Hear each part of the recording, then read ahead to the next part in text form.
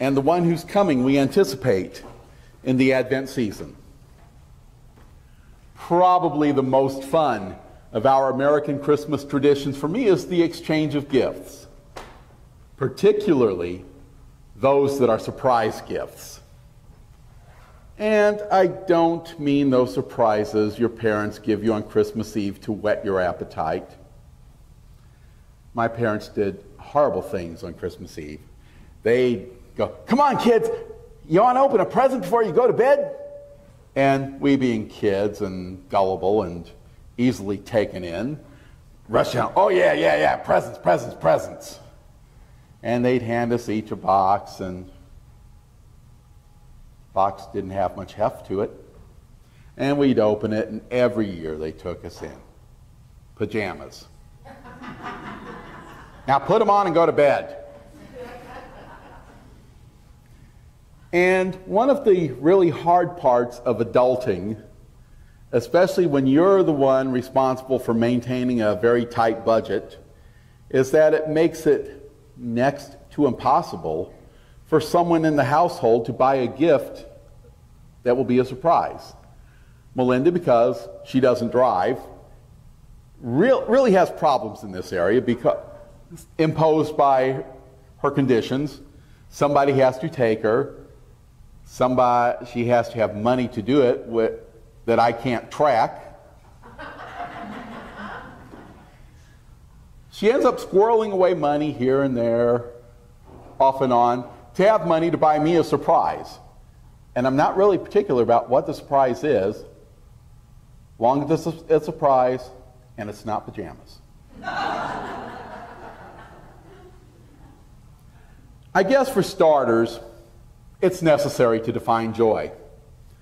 The term is a lot broader than happiness or ecstasy. Lillian Daniel defined it in a devotional piece. Happiness is a feeling brought on by inner and outer circumstances. But joy speaks to more than feelings or circumstances. Joy is the intersection of deep pleasure and deep meaning. Joy can occur even in unhappy situations, such as in the midst of a sacrifice.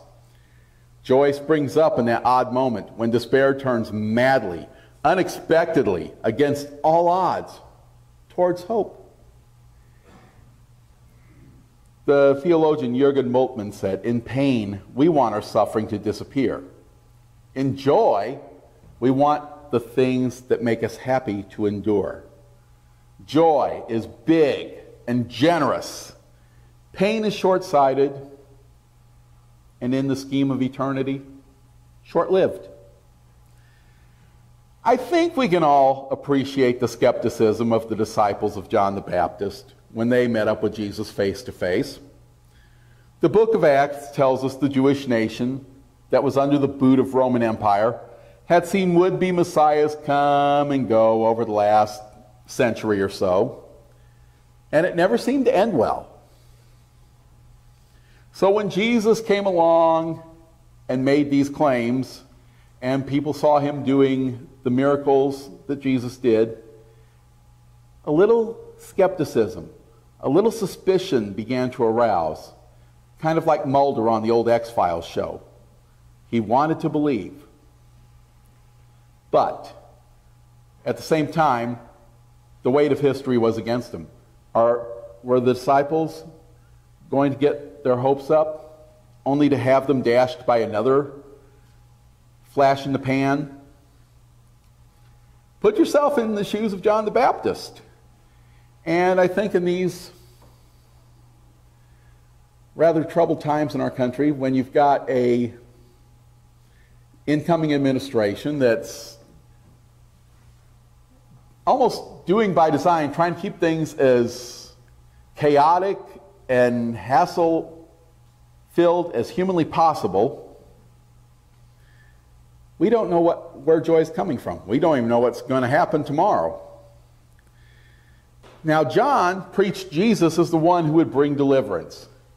However, John's sitting in prison and he's fixing to literally lose his head for questioning the,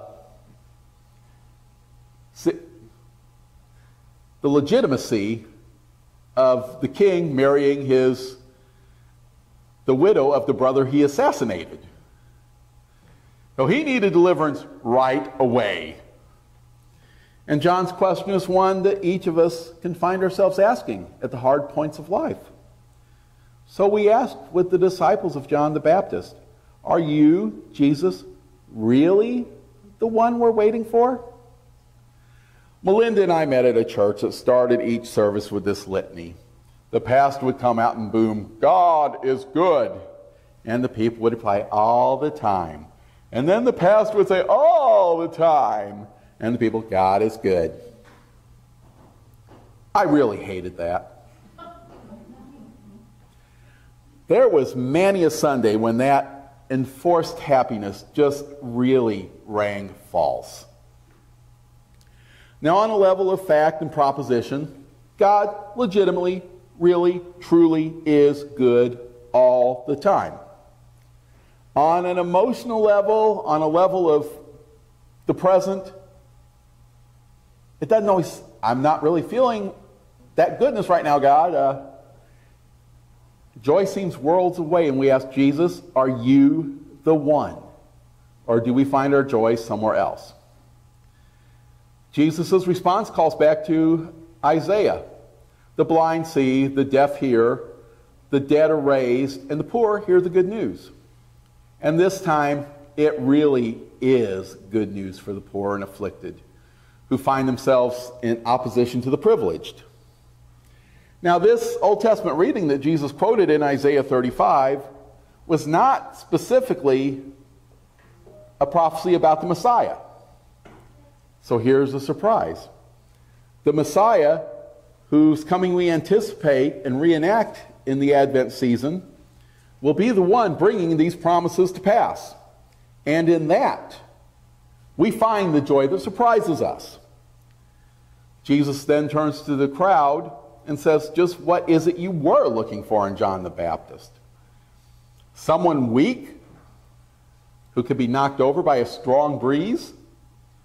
No, John may have been bent by the force of empire, but he wasn't broken, even though that force would soon execute him. A person of privilege in fancy robes? Jesus said, You're looking in the wrong place. A prophet?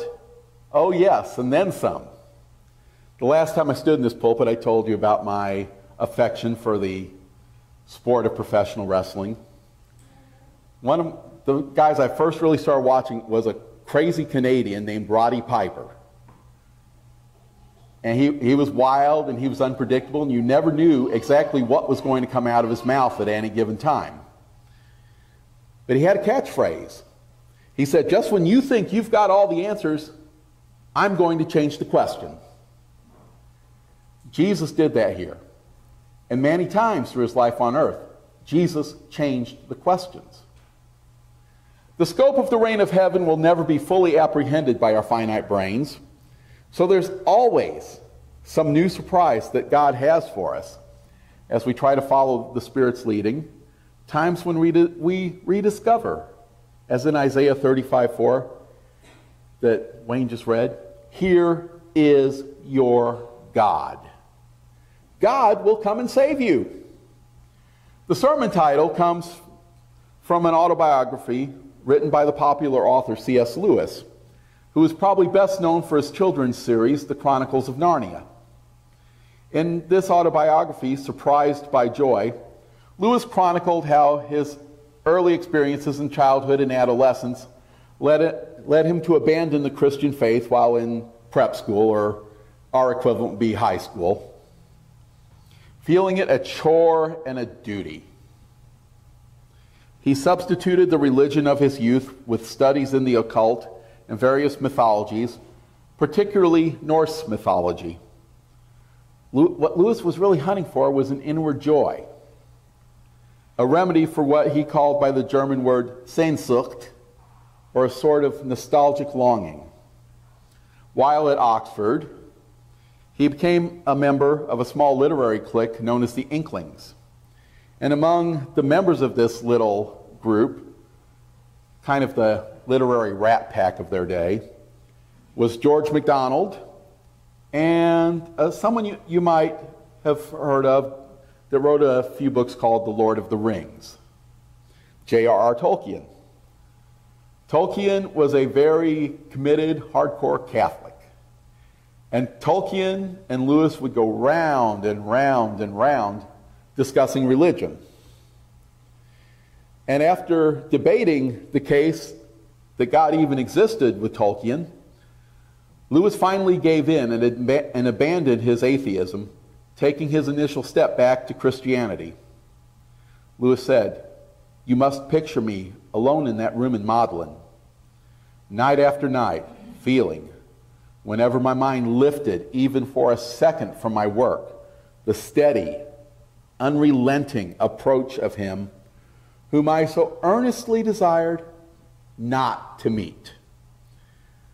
That which I greatly feared had at last come upon me. In the Trinity term of 1929, I gave in and admitted that God was God and knelt and prayed.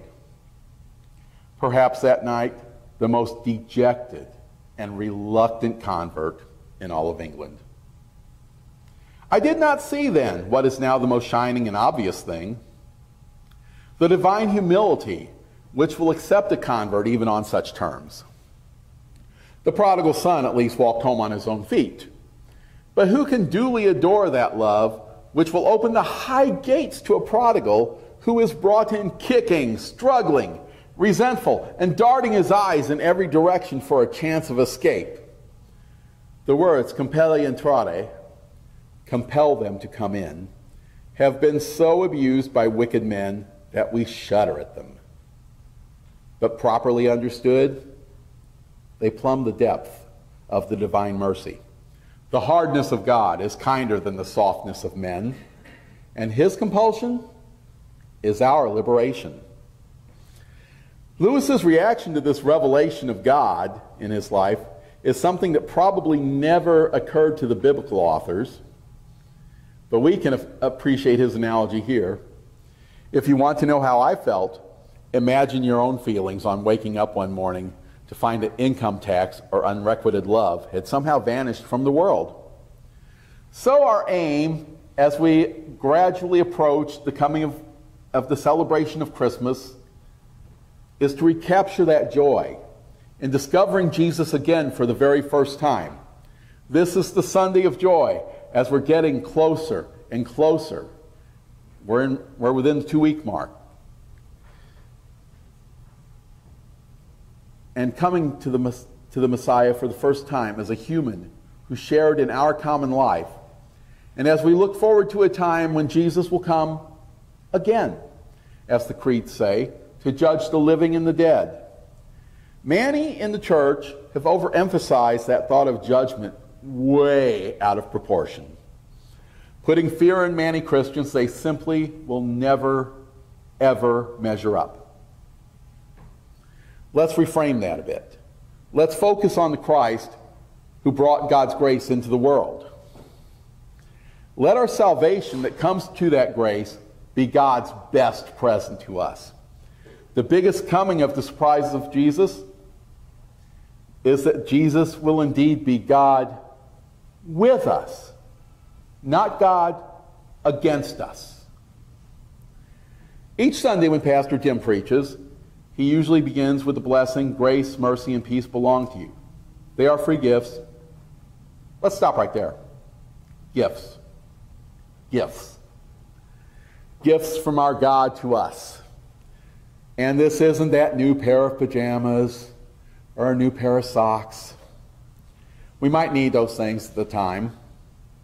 But in this world, we need grace, mercy, and peace on an inward level. Why don't we unpack those gifts so that they may surprise us with joy again? As we wait for the coming of Christ, let's receive those gifts again and again and again, those surprises of joy, and let's regift them to others so that they can share in the joy of God's grace and God's freedom. Shalom and Amen.